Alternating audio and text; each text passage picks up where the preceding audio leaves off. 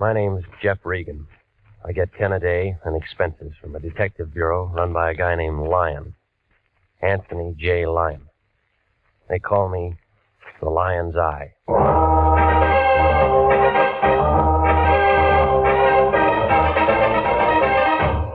With Jack Webb as Jeff Regan investigator, stand by for hard boiled action, mystery, and thrilling adventure in tonight's story of The Man in the Door.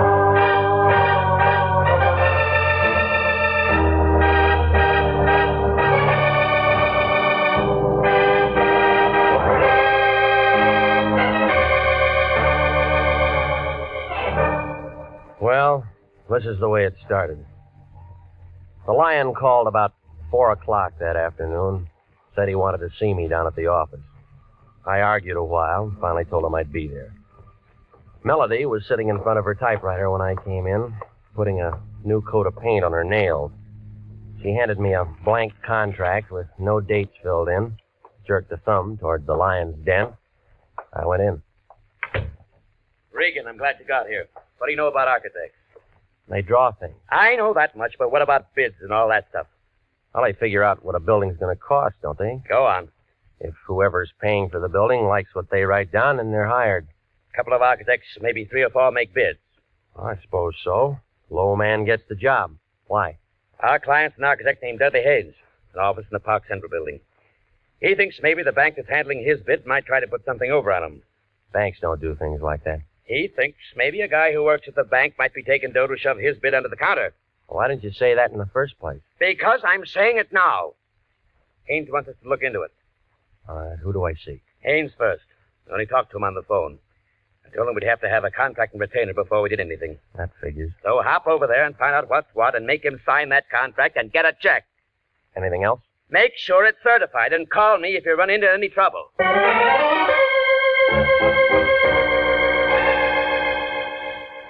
Dudley Haynes, architect, Park Central building, had an office on the ninth floor.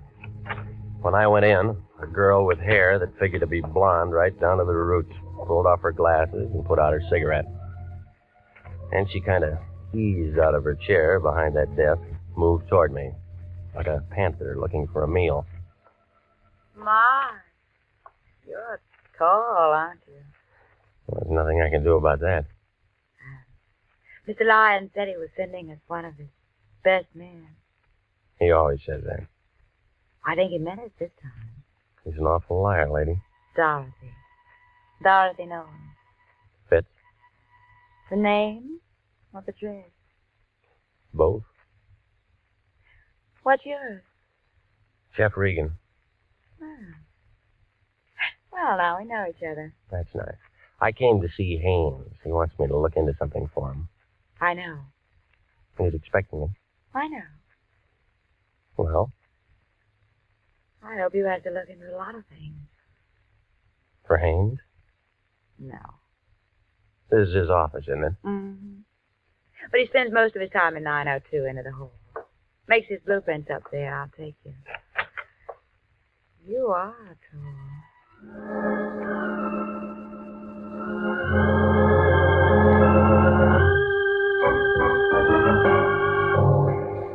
We started down the hall. We got about ten feet from the frosted glass door at the end. We both stopped. We were looking at the outline of a big man behind the door. Both of us expected him to open it and walk out. Oh, he came out all right, but he walked right through it. Oh, he's been shot. Oh, Do you know him? It's my boss, Mr. Haynes. No, it was your boss, lady. He's dead.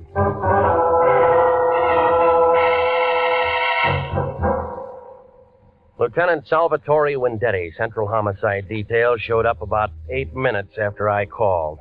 He had his whole goon squad with him and a couple of guys in double breasted suits from the district attorney's office. They roped off the entrance to the building, got hold of the elevator operators and the man who runs the cigar stand, and asked them questions.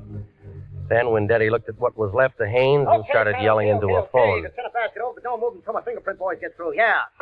Oh, okay, sis, where the guy live? At the Biltmore Hotel. Where's his wife? We didn't have one. What do we tell? We didn't have any family. So no one's going to cry. Well, that makes it easier. Regan, was he your client? No, nobody's a client until they sign a contract, Sally. Well, you would bring him a contract to sign, and then you would do something for him. What? Well, I didn't talk to him. Sis? Ah, well, Mr. Haynes had made an estimate on a little office building in Beverly Hills. He thought that a man named Adler at the bank might be taking money from someone to hold his bid out. So he wants an investigator to look into it. Why do you think that? Well, I don't know. You work for him.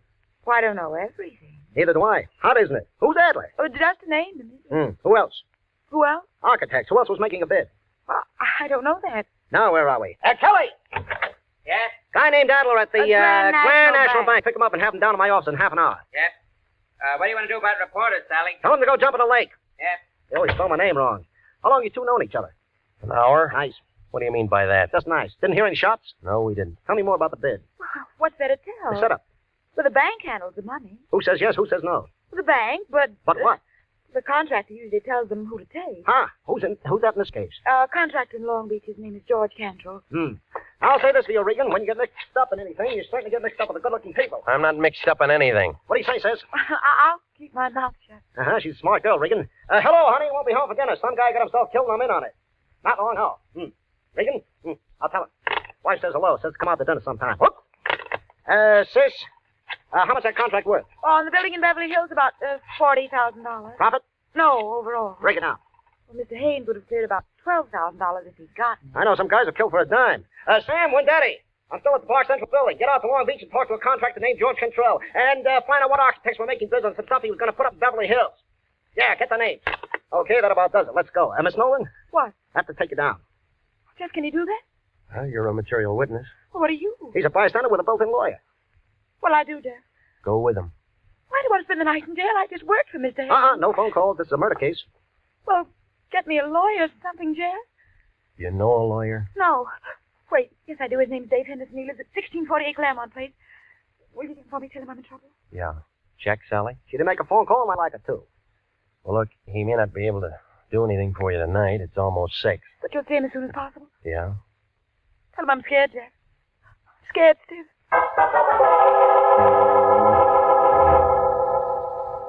Well, I stayed there and phoned the lion, told him what had happened. Well, he got mad and yelled something about me being a jinx on all our clients, and then he hung up.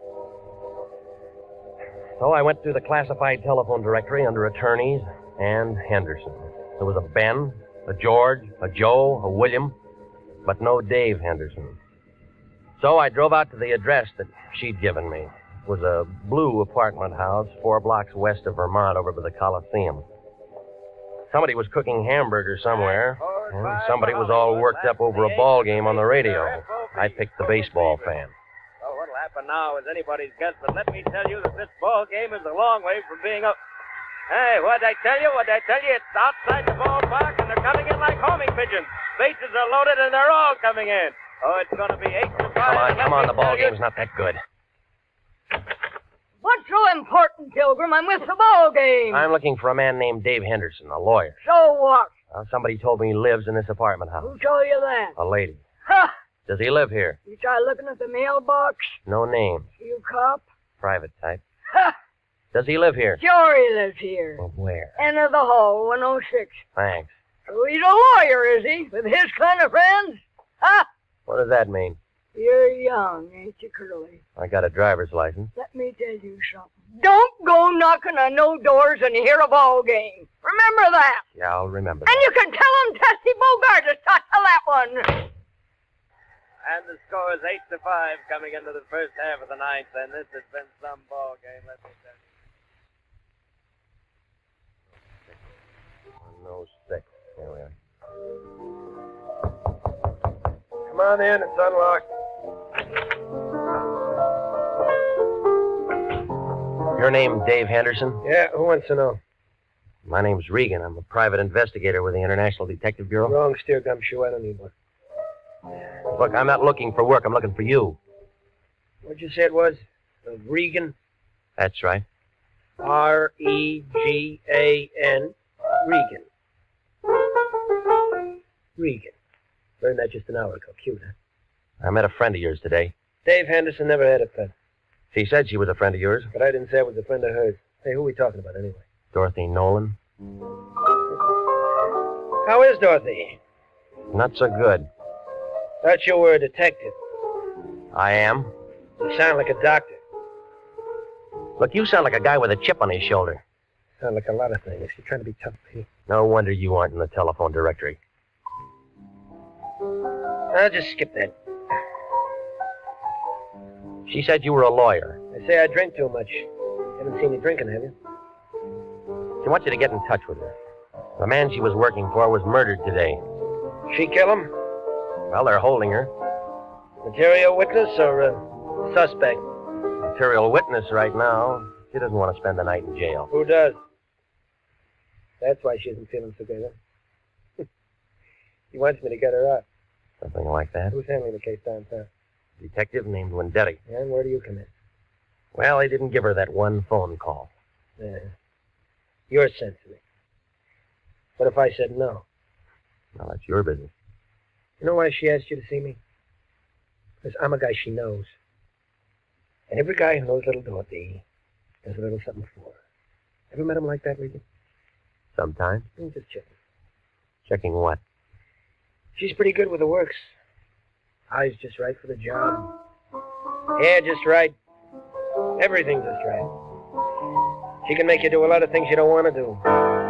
Wait till you see her in a bathing suit. Ooh, that's something, brother. Well, they aren't wearing them in the county jail. Okay, I'll phone Wendetti and find out what her bond is. Look, this is a murder case. There's no bond on this. You know that. Well, it depends how you handle it. I'll think of something. Yeah, I'll bet you will. We don't like each other much, do we? Nope. That's the way it goes. Listen, she said to tell you she was scared. Well, some of us are scared part of the time. And somebody gets shot. And everybody gets scared. You scared? Nope. Iron Man Regan. Have a good time.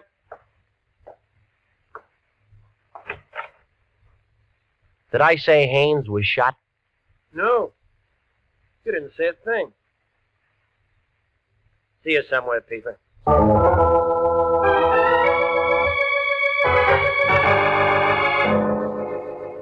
Well, I stopped by Musso Frank's and had the special, and then I went on home.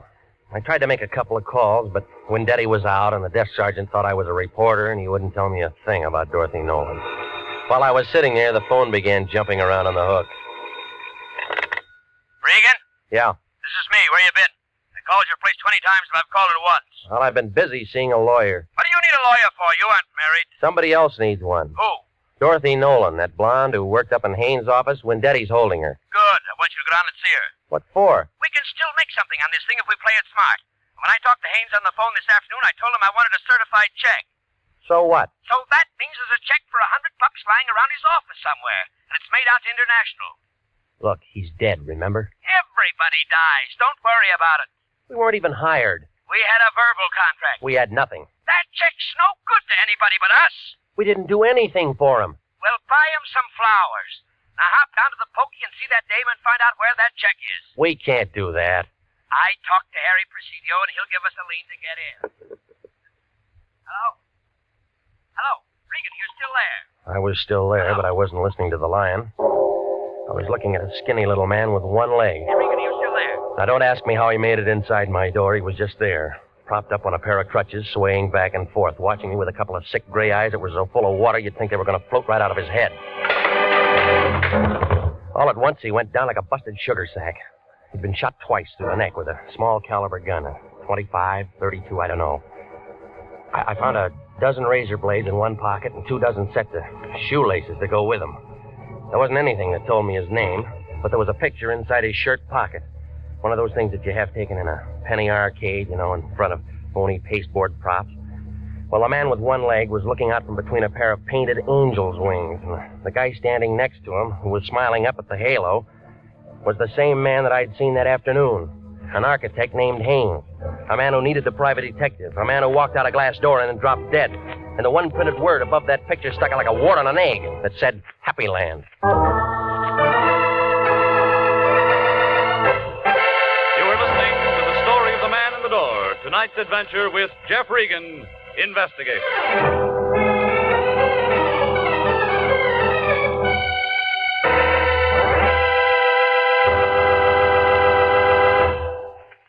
Here is a special and important message to every businessman listening. To every businessman, regardless of the size or the type of his business. Gentlemen, do you realize that the schools of this community help you every day that you're in business? That's right. For one thing, our schools teach the boys and girls of this community to cherish the human rights, the free enterprise on which our country and your business are founded. With each new generation graduated from our schools, the Army defending our way of life, and your business grows stronger. What's more, good teachers and well equipped schools do a better job of developing our children's talents. The result? School graduates who become more skilled and more efficient employees. So remember, any time and taxes that you contribute to improving local schools are an investment in your own business future. Education is good business. Education can maintain our freedom. And freedom is everybody's job. And now, back to the story of the man in the door and Jeff Regan, investigator.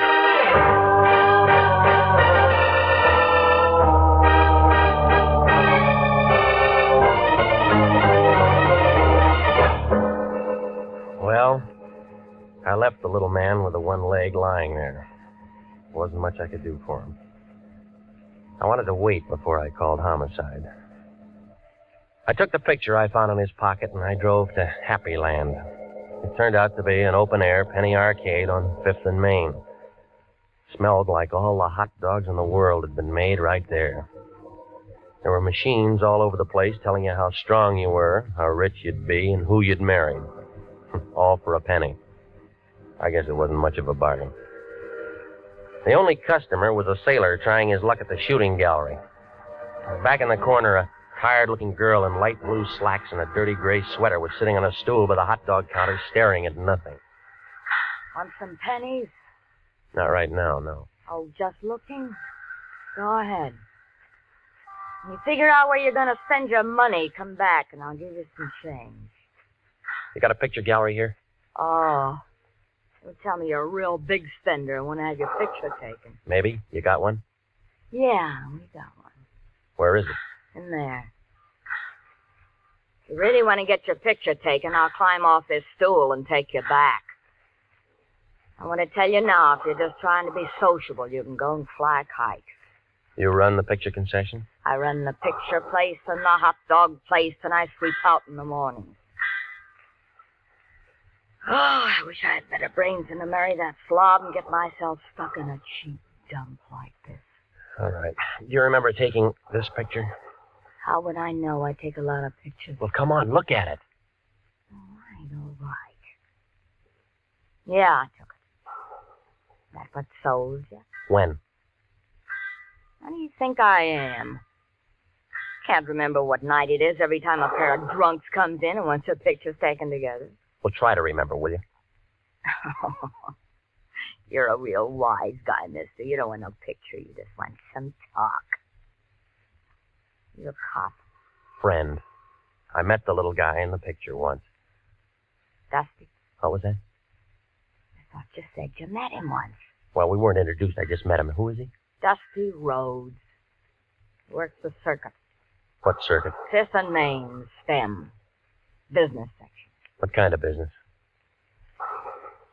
Dusty handled the razor blade and shoelace traffic. He hates pencils. What'd he do when he wasn't working?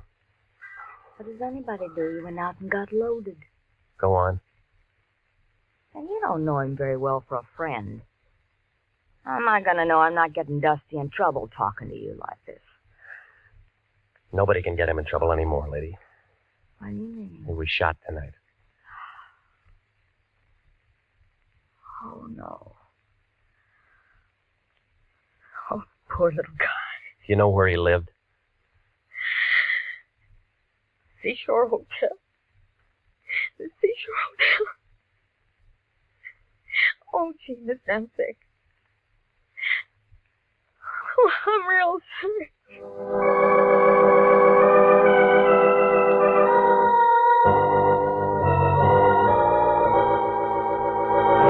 Brother, the seashore caters to many types of people, good and bad, just out of the pokey. Two bits a night for transients, one fifty a week for solid citizens. And sign and register, it's a law. I'm not looking for a room. Then you're wasting my time, brother. My beer's getting warm. Look, I'm a private investigator. My name's Regan. I liked you before you said them two words, brother, but you have soured me. Private investigator means private eye, and it all means cop. And you are not welcome. Now blow. I'm trying to find out something about a man named Dusty Road. We do not ask questions and we do not give answers. Now blow. I was told he lived here. You find me tongueless, brother. Now blow. Did you know him? During the last five years, I have acquired 85 pounds and a very bad heart, or I'd have you in the alley right now. Oh, yeah, sure you would. Here. Abraham Lincoln was a very fine man, and he took a very fine picture. I seem to have found my tongue, brother. Will it be? The key to his room for a starter, huh? Uh, disallowable and punishable by fine and imprisonment. Into the hall, turn the bent vest door to the right. Thanks. Well, I don't know what I expected to find there. Outside of more razor blades and more shoelaces was a little room full of dirty white curtains and a wire bed that sagged in the middle. I was standing there watching a neon sign advertise beer a block down the street when I thought I heard somebody behind me. Whoever it was had been drinking bad whiskey, but he was still pretty good. It landed a quarter of an inch above my right ear, and I piled up in a lamp, a chair, and a pitcher full of water. Five berries gets you a look, brother, but doesn't get you a room. Besides, it's already taken and the bed's over there. Now, come on. Oh. Yeah, you didn't go to sleep, brother. You was knocked to sleep. Oh. I apologize. Why the games? Who came in after me? You're the only one. You sure? My name's Sam Preacher. Brother, I'm very sure. Well, maybe he was waiting for me, huh? I don't generally ask him, but the question is this. Why? Oh, I don't know. Unless What's the matter? Something missing? just a picture. You can get lots of pictures. You didn't see anybody? That makes the third time, brother, and the answer's still negative. Okay, okay. Then let's blow, buddy, huh?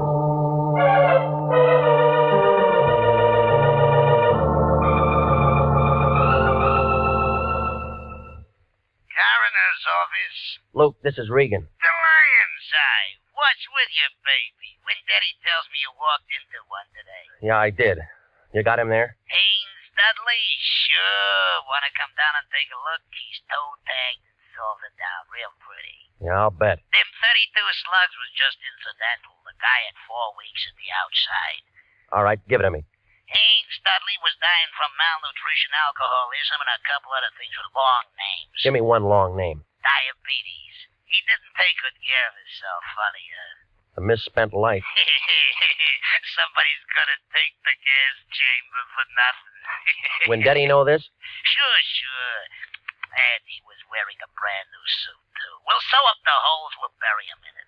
Well, you aren't finished yet, Luke. Baby! A guy with one leg dropped dead in my place a couple hours ago. It's after 11. I'm sorry, Luke. They connected? Yeah? Murder? Yeah. Ah, well, come down and see us anytime, Regan.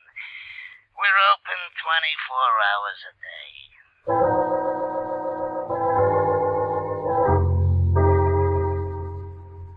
Fell at the homicide office. They told me she'd been released about 10 o'clock. They said a lawyer named Henderson had put up the bail and handled the whole thing. They gave me an address on her when I went out there. It was a bungalow court on Normandy, and it took her a long time to answer the door. Oh, you. Yeah, tell me how tall I am. I'd love to, but not right now. They told me you'd been out since 10 o'clock. Maybe I should have come sooner. Dale gives me the willies. I'm about to take a shower. I was kind of hoping we could have a drink. I did better than I thought with you. I got a hold of a lawyer for you, didn't I? Yes? Well, doesn't that rake me an invitation to have a drink? I said later, I'm really tired. I... Uh, I said no. Wait a minute. Well, if you're that thirsty, all right. That's better. Isn't every day my boss gets killed and I meet a private detective? I need a drink. I was slugged tonight. Slugged? Yeah, right here, see? Oh, it looks nasty. Why didn't anyone do that to you? Wanted a picture I had? Whistler's mother? Just a picture of a couple of drunks who are dead now. Maybe whoever did it was a relative. Guess again. I don't like games. But you play 'em all the time. Don't we all? I know a psychiatrist who says we can't help ourselves. You can. I liked you when you walked into the office this afternoon, but I'm not so sure I like you now. Maybe you better go. Expecting somebody, huh? What are you doing? You let go of me. Let go Oh, of no, me. baby. you've got real nice eyes. I want to look at them. Let go. He's crazy. You. Hello, Dave. We didn't hear you knock. Did you bring your piano? What's the idea? He gave me. Why don't you tell him to go away, baby? Anybody can tell we're busy. Let it go, Regan. You want to break us up? Can't you see he's just trying to make you jealous and say things? Come here, honey. No. You don't have to do that. I said let her go. that the same 32 you killed the one-legged man with? Over, gumshoe. Don't be a fool. Stay right where you are, baby. You're first. Listen to me, I Daddy. listened to you too long. He's only guessing. He doesn't have any proof of anything. You can cry if you want to, baby. This is gonna hurt. She spun around and fell into a coffee table and then lay very quiet on the rug. Her eyes were open and she didn't say anything. She just lay there looking up at him. I couldn't tell where she'd been hit. He seemed to forget all about me because he walked over to her, knelt down beside her, put the gun right up against her head. This is awful close range, baby, but I can't afford to miss. Neither could I.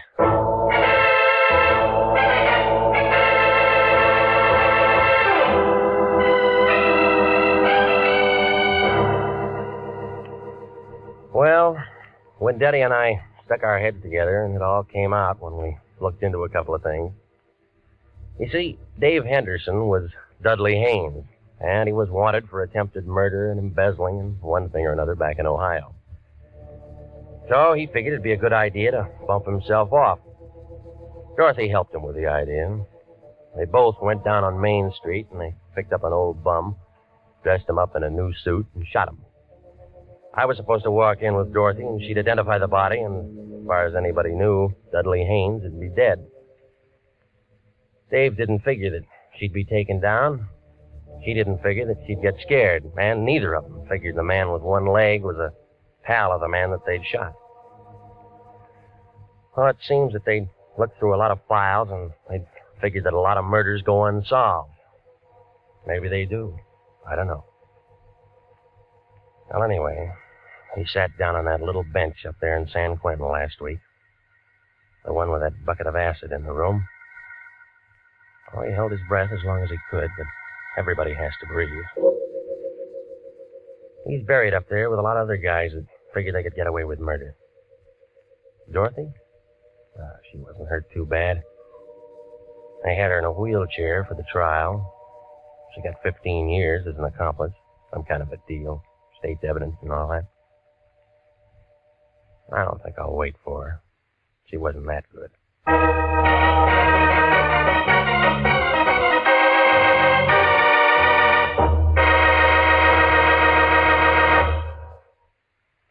Jack Webb is featured as Jeff Regan with Wilms Herbert as Anthony J. Lyon. It's CBS at 9:30 next week for more hard-boiled action and mystery with Jeff Regan, investigator. Written by E. Jack Neuman and produced by Sterling Tracy. Dorothy Nolan was played by Betty Lou Gerson, and David Ellis was Dave Henderson. Lorene Tuttle, William Conrad, and Lou Krugman supported.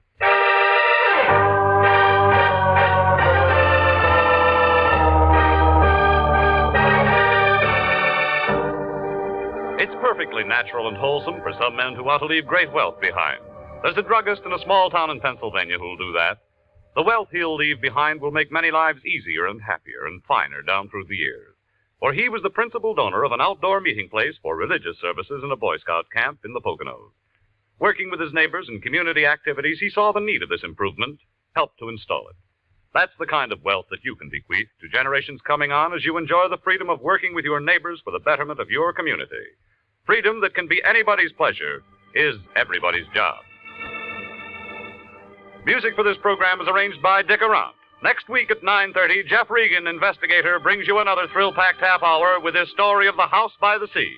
Bob Stevenson speaking. This is CBS, the Columbia Broadcasting System.